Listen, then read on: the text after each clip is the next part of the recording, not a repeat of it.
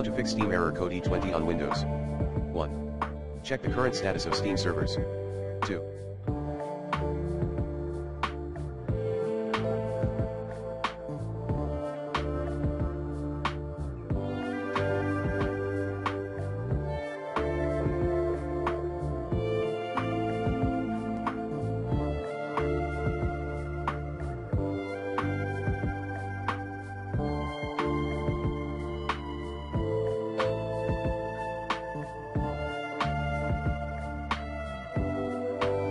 Run Steam with administrator rights. 3.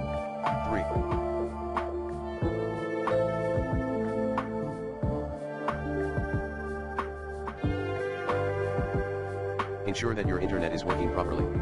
4.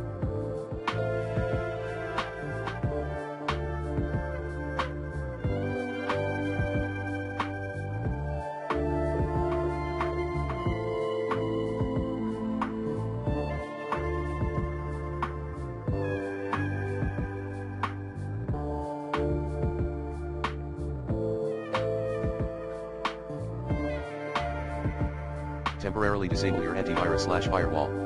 5.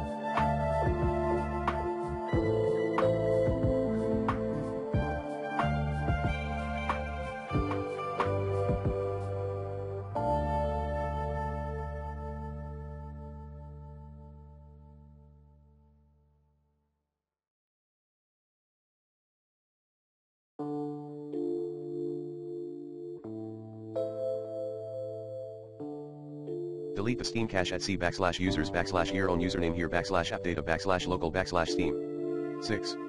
Reset your IP address.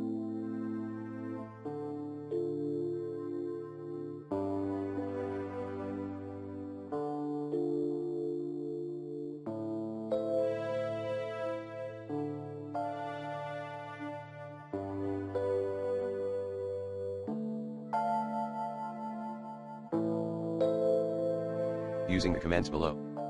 Netsh winsock reset netsh int IP reset netsh win reset proxy IP protocol configuration slash flushdns IP protocol configuration slash release IP protocol configuration slash renew 7.